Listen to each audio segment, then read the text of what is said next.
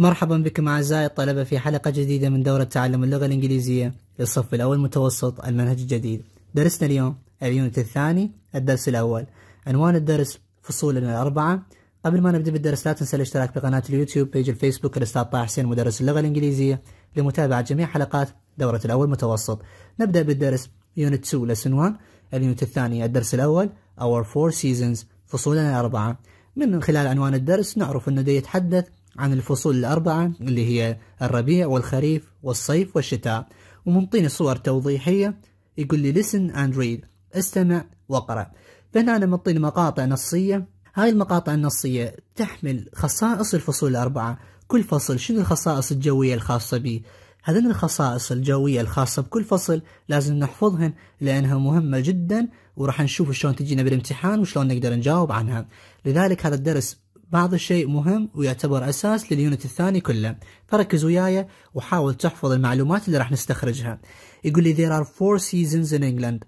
هنالك أربع فصول في إنجلترا. إذا هنا دا يحكي عن الفصول الخاصة بإنجلترا مو بالعراق. إذا ركزوا وياي شوي لأن أكو بعض المعلومات تختلف عن العراق. هنالك أربع فصول في إنجلترا. They are called تدعى.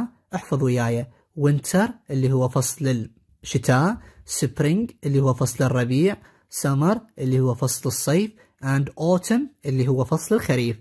In winter في فصل الشتاء اكتب وياي. الوينتر فصل الشتاء شنو الجو أو شنو الطقس الخاص به it is always cold. عادة ما يكون أو دائما ما يكون الطقس cold. Cold معناها بارد. And it usually snows. وعادة ما تثلج. Snow يتساقط الثلج أو الجليد. إذا مميزات فصل الشتاء احفظ وياي cold بارد snows snows معناها يثلج مثلج. بعد بالصورة الثانية اللي هي يقول لي درجة الحرارة 15 شوف هنا درجة الحرارة صفر اللي هو فصل الشتاء. درجة الحرارة 15 إذا spring الفصل الثاني اللي هو ال spring spring اللي هو الربيع. شنو خصائص فصل الربيع؟ in spring it is often warm warm معناها دافئ. وبعد and it usually rains. Rains معناها تمطر. عادة ما يكون الجو ممطر في فصل الربيع. هاي الخصائص الثانية الخاصة بال spring. نجي على الفصل الثالث اللي هو ال summer. ال summer اللي هو الصيف. إيش قد حاط درجة الحرارة؟ 25 يقول لي it is usually sunny. من خصائص فصل الصيف انه sunny مشمس and sometimes hot. وبعض الأحيان يكون الجو حار. شوف هنا على مود تنتبه. ترى هاي خصائص فصول إنجلترا وليس العراق لأن بالعراق always hot in summer. عادة دائما ما يكون الطقس حار في الصيف. In autumn autumn قلنا معناها الخريف autumn.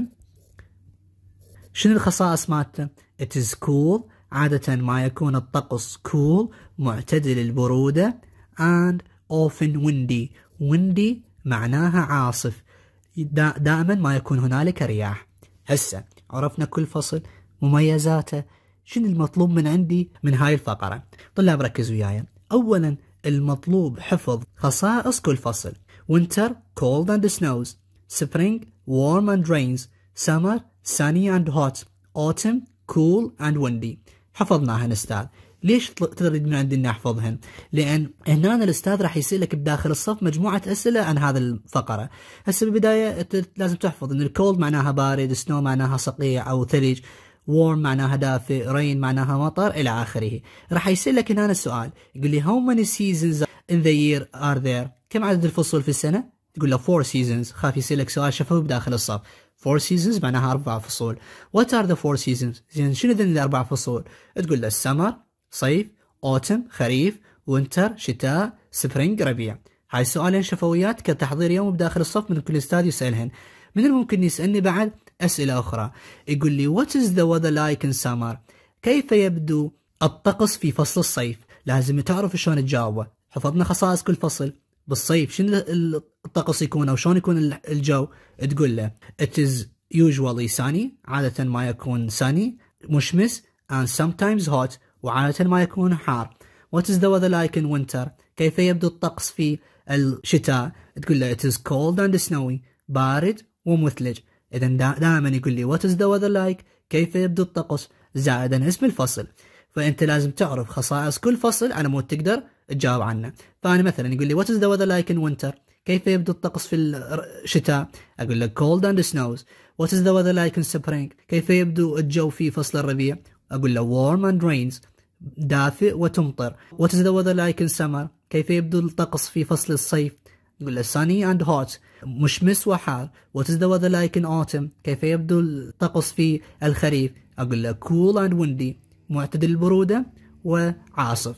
هذا ما يخص الفقرة الأولى. حفظنا الأسئلة مالتها. شلون يسألني الأستاذ بداخل الصف؟ شلون أقدر أجاوب عنه؟ شنو خصائص كل فصل؟ ننتقل إلى الفقرة الثانية. يقول لي listen and read. Then answer the question below. استمع واقرأ. نعطيني مقطع نص للقراءة. ثم أجب على الأسئلة. شوف هنا أنا شو يقول لي؟ يقول لي لندن here is the weather forecast for tomorrow. لندن إذاعة لندن هنا النشرة الجوية الخاصة بيوم غد. It will be mild day. سوف يكون يوم معتدل but it will be cloudy لكنه سوف يكون غائم with some rain مع بعض الأمطار in the morning في الصباح. احفظ وياي المعلومات اللي راح يسألني بعد قليل عنهن. In the afternoon. إذا بالصباح إيش راح يكون الطقس؟ mild معتدل rain ممطر cloudy غائم. In the afternoon في المساء it will be dry سوف يكون جاف sunny مشمس. جاف ومشمس. The temperature will be 18 degrees. درجة الحرارة راح تكون 18 درجة مئوية. It will be cooler in the evening. وسوف يكون الجو أبرد عند حلول الليل أو عند حلول المساء. الآن مثل ما طلب من عندي قرأت النص استخرجت المعلومات الخاصة بي. راح ناخذ معلومة إنه tomorrow morning هذا ظرف زمان من الممكن يكون بداية الجملة أو من الممكن يكون نهايتها. هاي مجرد ملاحظة غير مهمة. شو يقول لي؟ يقول لي التمرين الأول مثل ما طلب من عندي هذين الكلمات اللي هي الكولد الكول الهوت الرين اللي حفظنا معانيهن سقطهن حسب خصائص كل فصل. فمثلا هسه الفصل الأول هذا شو نسميه؟ بيني وبينكم. هذا اسمه winter شنو يعني winter الشتاء. يلا. يا سبع يقول لي شنو خصائص فصل الشتاء؟ واحد يقول لي cold بارد وبعد and snow. شنو snow مثلج يثلج. بعد هذا الفصل الثاني اللي هو يا فصل فصل spring الربيع. شنو خصائص فصل الربيع؟ warm دافئ وبعد هذه الكلمة warm دافئ وبعد rainy ممطر. rain مطر أو ممطر. الفصل الثالث اللي هو فصل السمر. شنو السمر؟ الصيف. شنو خصائص فصل الصيف؟ hot حار وبعد سني مشمس. وهكذا. الفصل الأخير اللي هو فصل الخريف. شنو مميزاته؟ ويندي ويندي معناها عاصف وبعد كول. كول معتدل البرودة. هذا ما يخص تمرين أي هذا التمرين مثل ما وضحنا بداية الدرس لازم نعرف خصائص كل فصل من خلال حفظنا خصائص كل فصل قدرنا نجاوب عنه. وراها يقول لي write the words in the correct place. أكتب هذه الكلمات بالحقل الصحيح. هو شاطب لي كلمة cold باعتبار هو حاطها بالبداية. منطيني صورة محرار؟ يقول لك بهذا المحرار. هذه صفر درجة مئوية. إذا هذا الجو بارد. زين إذا صعدنا شوية إيش راح يكون؟ راح يكون cool cool. معتدل البرودة. وراها إيش راح يكون؟ صار 20 صار warm دافئ. و30 hot حار. هذا مجرد يريد يخليني أحفظ الكلمات المتعلقة بالطقس اللي هي الكولد الكول الورم الهوت إلى آخره. وراها. يقول لي that's the weather like in each season. Write the weather words next to the seasons. نفس الطريقة. المرة الثالثة يريد يخليني أحفظ خصائص كل فصل. يقول لي فصل ال winter الشتاء. شنو خصائصه تقول له cold بارد وبعد. Snows snows يثلج وهكذا. Spring الربيع. Warm دافئ. وبعد rain rains مطر يمطر. summer الصيف. شنو خصائصه؟ hot حار sunny مشمس وهكذا. autumn الخريف. شنو خصائصه؟ cool معتدل البرودة وويندي عاصف. هذا ما يخص تمرين رقم اثنين. تمرين بسيط جدا مثل ما وضحنا. يريد يخلينا احفظ خصائص كل فصل حفظناهن وخلالي ثلاث تمارين متعلقة بخصائص كل فصل على مود يخليني أحفظهن. الآن ننتقل إلى تمرين رقم ثلاثة. يقول لي word building complete the table. شوف هنا أنا طلاب. يقول لي أنا منطيك verb فعل. ال verb معناها فعل. أريدك تطلع لي من عنده noun اسم. وأريدك تطلع لي من عنده adjectives اللي هي الصفة. شوفوا طلاب. snow معناها يثلج. شنو الاسم اللي أطلعه من عنده؟ نفسيته يبقى snow. snow همين تجيب معناها ثلج. ثلج اسم يثلج فعل وسنوي مثلج. يعني صار صفة مثلج. الجو صفته إنه مثلج. زين. رين يمطر. زين. الاسم مالته شنو؟ هم أنا نفسيته. rain معناها مطر. والاسم والصفة مالته شنو؟ rainy rainy معناها ممطر. صفة الجو إنه ممطر. زين. الثالثة. wind. wind اللي هي الرياح. الصفة مالتها شوف هنا يقول لي ماكو مال ماكو إلها فعل. الصفة مالتها windy. windy معناها عاصف جو ذو رياح كثيفة. ويند رياح. ويندي عاصف. هذه الكلمات حاول تحفظون معانيها لأنها مهمة بعض الشيء. بعض الأساتذة يجيبوها بسؤال الإملاء.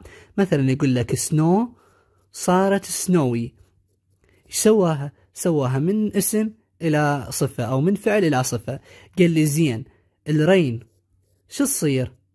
تقول له ريني وهكذا. هذه بسيطة ملاحظة بسيطة وأغلب الأساتذة ما يركزون عليها لكن إذا طلبها من عندك الأستاذ لازم تعرف أنه الاشتقاق مال سنو سنو سنوي رين رين ريني. ويند وبكلمة ماكو أنا ماكو بينها فعل وبويندي أما تمرين رقم أربعة هنا راح توضح شو تستخدم هذين الاشتقاقات.